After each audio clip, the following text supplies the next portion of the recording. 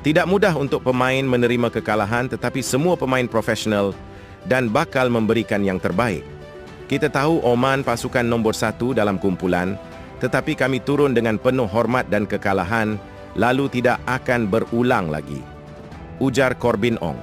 Apabila beraksi di laman sendiri, kami mahu memanfaatkan atmosfera di Bukit Jalil dengan bertahan secara satu unit dan juga menghidupkan peluang untuk menyerang. Kita perlu menyerang dan bertahan sebagai satu unit. Setiap pemain perlu memainkan peranan yang sama mengikut perancangan pasukan.